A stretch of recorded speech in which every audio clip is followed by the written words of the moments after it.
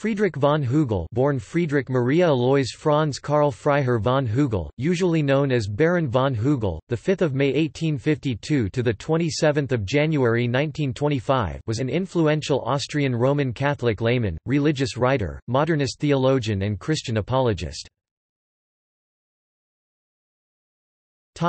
Life and work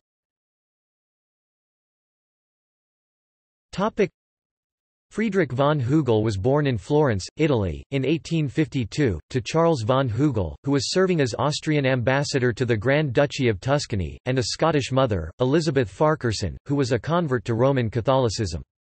Friedrich was educated privately, and moved with his family to England in 1867 when he was 15, where he remained for the rest of his life.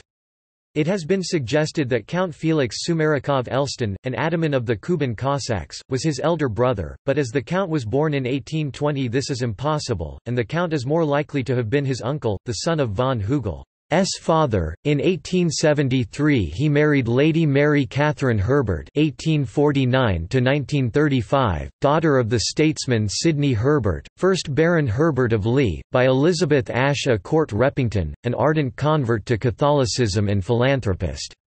Mary, like von Hugel's mother and her own, was also a convert. The couple had three daughters: Gertrude (1877–1915), Hildegard (1879–1926), and Thekla (1886–1970), who became a Carmelite nun. He remained an Austrian citizen until he found himself to be a hostile alien after England declared war with Austria in August 1914. He applied for naturalization and received it in December of the same year. He was a baron of the Holy Roman Empire, an inherited title, and a frequent visitor to Rome. A self-taught biblical scholar, a linguist with a fluency in French, German and Italian as well as his adopted English, and a master of many subjects, he never held office in the Catholic Church, or an academic post, nor did he ever earn a university degree. However, he is often mentioned alongside John Henry Newman as one of the most influential Catholic thinkers of his day. The scope of his learning was impressive and the list of his correspondence reads like a who's who of 19th and early 20th century European religious leadership for example, Louis Duchesne, Alfred Loisy, Germain Morin, Maurice Blondel, Henri Bremond, John Henry Newman, William George Ward, Wilfrid Philip Ward, Lord Halifax, Cuthbert Butler, Claude Montefiore, George Tyrrell, Maud Petre, Evelyn Underhill, Antonio Fogazzaro, Ernesto Buonaiuti, Rudolf Christoph Eucken, Hans Vaihinger and Ernst Troeltsch. In Italy von Hugel frequently met two future popes, Achille Ratti and Eugenio Pacelli, later Pius XI and Pius XII.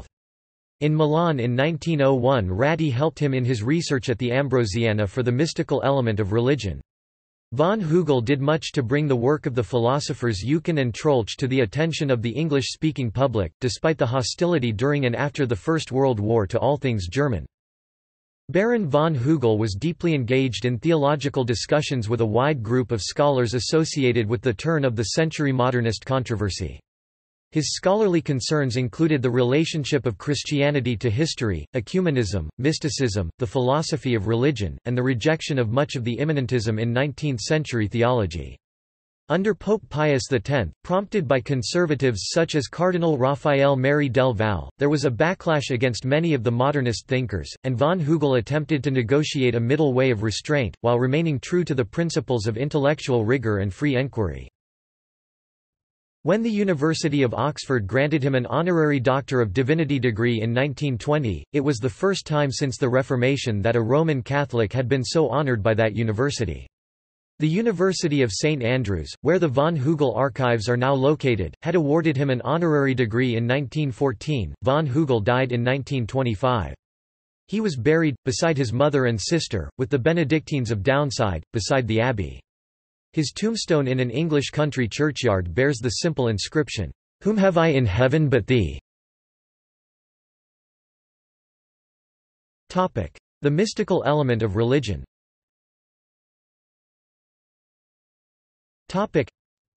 Von Hugel's major work was the mystical element of religion as studied in Saint Catherine of Genoa and Her Friends 1908.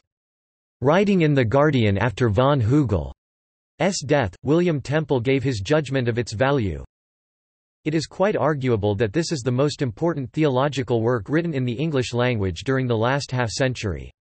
Its greatness, like all true greatness in this field, consists in its combination of qualities usually found in separation from each other. It is a masterpiece of detailed critical study, yet it is a massive presentation of fundamental principle. It is a penetrating piece of psychological analysis, while it is also a great achievement in constructive philosophy. The most striking section of it—the introduction, has so deeply permeated the thought of our time that its leading conception has become a commonplace among many who have never read the book, or even who have never heard of it. This leading conception is, of course, the necessity of three elements in any religion which is to be both full and living—the mystical, the intellectual, the institutional. His statement of the necessity of each of these, and of the consequent need to harmonize and balance them, is unanswerable. The three elements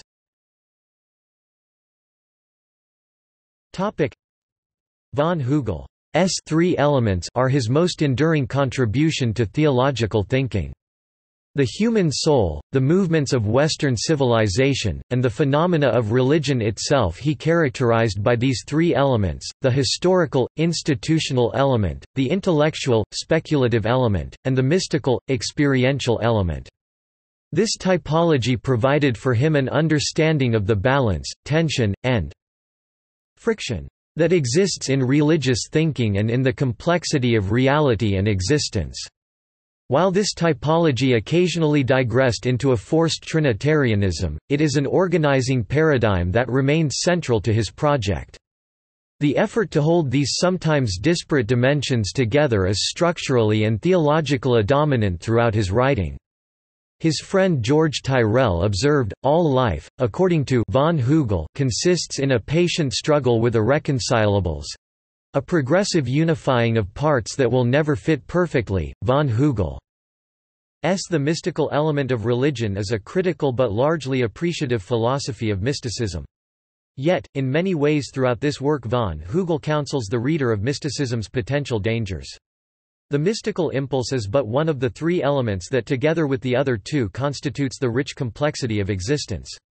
Von Hugel cautions, Mysticism would never be the whole of religion, it would become a dangerous error the very moment it claimed to be this whole, but, at the same time, it would be an element essential to religion in the long run and upon the whole, although it would, possess its own dangers, its own besetting sins, as indeed also the primitive, naive type of religion possesses its own different dangers and different besetting sins.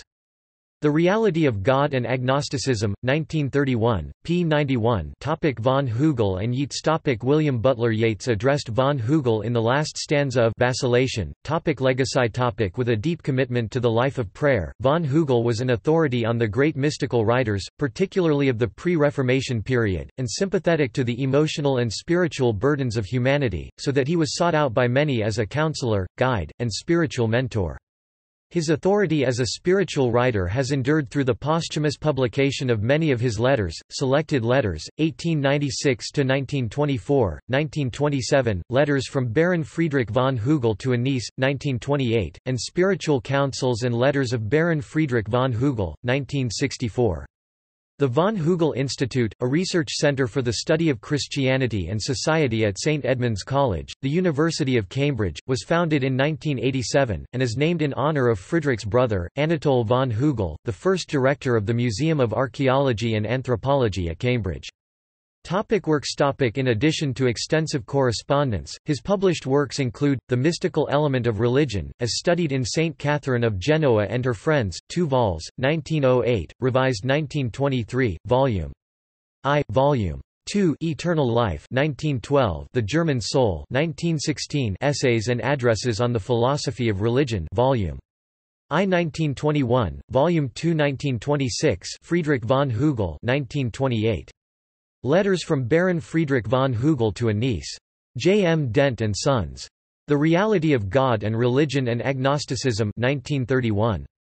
This last book contains two works that von Hugel left unfinished at his death, The Reality of God, which was to have been the Gifford Lectures of 1924–1925 and 1925–1926 at Edinburgh University, and Religion and Agnosticism, a study of the religious opinions and writings of Sir Alfred Comyn Lyall which was begun in 1912 and laid aside in 1915 though retouched here and there later. Topic references topic topic Further reading topic De la Bédoyère, Michael 1951, The Life of Baron von Hugel, London, J. M. Dent and Sons. Johns, David L. 2004, Mysticism and Ethics in Friedrich von Hugel, Lewiston, N.Y., The Edwin Mellen Press, ISBN 0-7734-6222-8. Kelly, James J. 1983, Baron Friedrich von Hugel's Philosophy of Religion, Leuven, Leuven University Press, ISBN 90-6186-146-2. Leonard, Ellen M. 2005, Creative Tension, The Spiritual Legacy of Friedrich von Hugel hardback, Scranton, Pennsylvania, University of Scranton Press, ISBN 0-940866-66-8, paperback ISBN 0-940866-67-6 Topic External links Topic Mosdorp, Michael. Baron Friedrich von Hugel 1852 Radical Faith. Jowett, Nick. The 15th of November 2008. Face to Faith. Von Hugel's writings help us to see why today's church is full of intellectuals and simpletons. The Guardian. Works by Friedrich von Hugel at LibriVox public domain audiobooks.